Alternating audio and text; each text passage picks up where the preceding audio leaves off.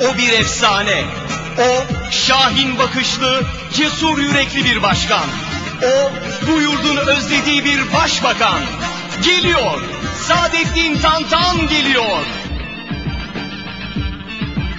Yolsuzluğa, yoksulluğa, işsizliğe, üretimsizliğe, kötü yönetime, haksızlığa karşı mücadele etmeye geliyor. Gün dayanışma günüdür. Gün Kuvayi Milliye ruhunu yeniden hakim kılma günüdür. Yolsuzları tantanı mahvettiler vatanı. Paşa getir tantanı Yurt padişahlanıyor Paşa getir tantanı Yurt padişahlanıyor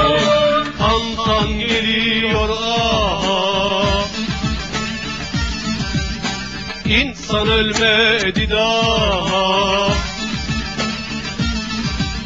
Şükür olsun Allah'a Yurt padişahlanıyor Şükür olsun Allah'a Yurt padişahlanıyor Önde Saadettin Tantan Ardında bütün vatan Kırk yıldır aldatılan Bir millet uyanıyor Önde Saadettin Tantan Ardında bütün vatan Kırk yıldır aldatılan Bir millet uyanıyor Yurt Partisi ve Saadettin Tantan ekonomiyi adalet zemininde, demokrasiyi halk iradesiyle inşa etmeye geliyor.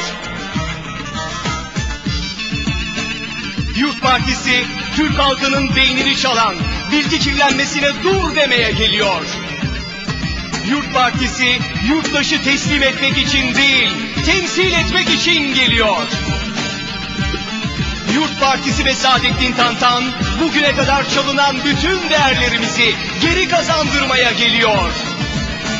Yurt parti yurt direği Doğu batı kuzeyi Eski dünyanın devri Bir millet uyanıyor Eski dünyanın devri Bir millet uyanıyor Tan tan geliyor aha.